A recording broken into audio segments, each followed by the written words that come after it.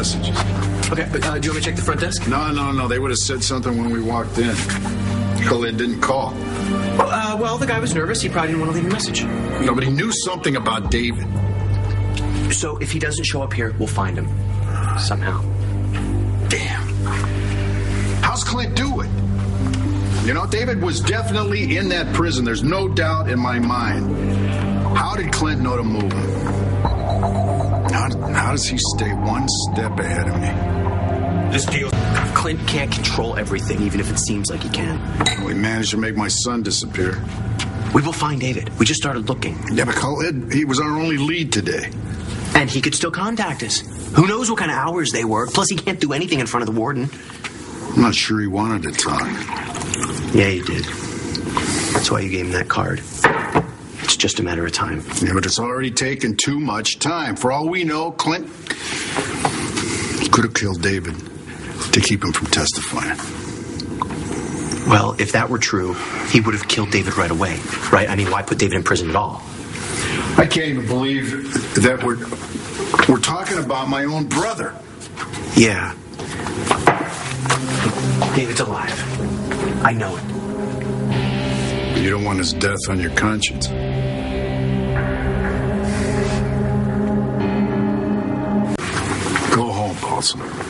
Just be grateful that you have Gigi and your son to go home to. I'm not going anywhere until we find David. Dead or alive. Yeah. Like I said, I believe that David's alive. But you're right. If if he isn't, I wouldn't be able to live with what I've done. I won't go back and change it. Look, now what's done is done. Yeah. So all I can do is help you find David. And I'm not going anywhere until we do that. Gigi can hold down the fort. I've got my laptop. I can manage my club from here. No, you, you can't do that. I have to do that. I can't quit, Bo. That's one lesson you taught me that I won't ever forget.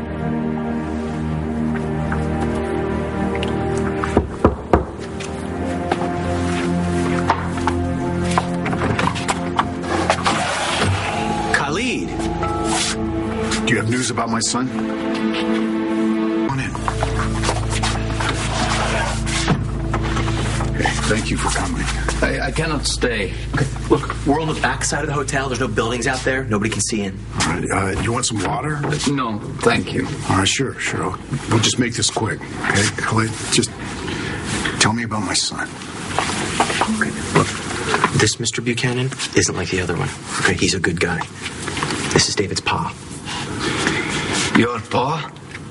Yeah, you know David. Yes. David Vickers was in our prison.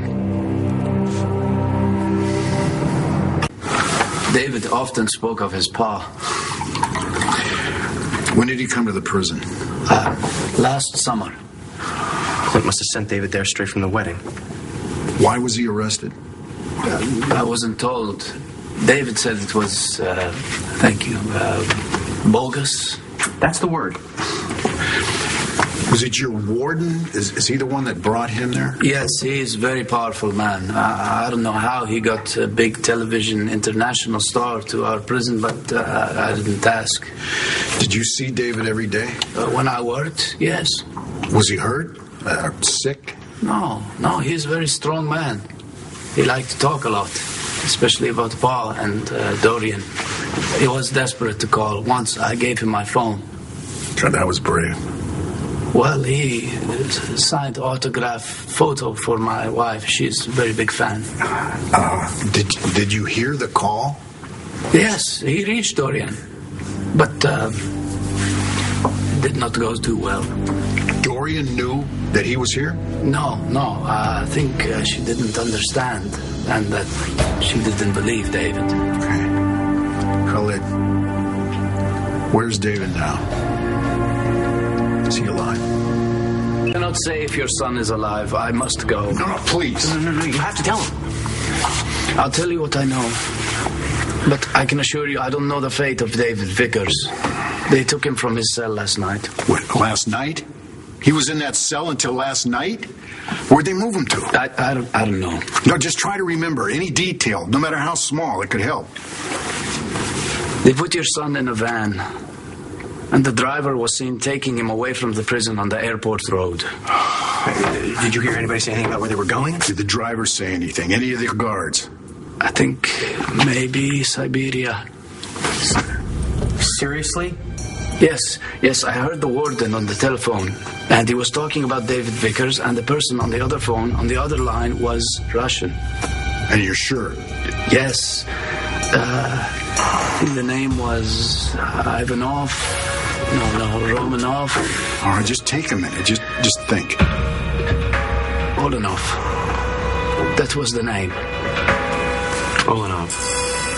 As in Alex Olanov? No. Khalid, this is important. We need to be sure. I'm certain. Okay, the name that you heard the warden say. It was Olanov. I don't know if it was Alex or not, but I remember Olanov. Oh, now, I, I really must go. Okay, listen, here's my card.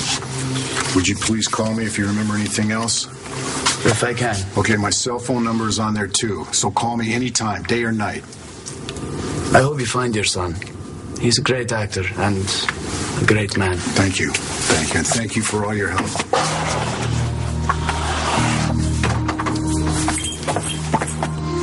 Alex Olanov? Yeah. It makes sense. It's sick. It's twisted sense, but it's Okay, so why would she want to help Clint? because she never got over losing Pa. She knew she never had a shot at me, so why not go with Clint?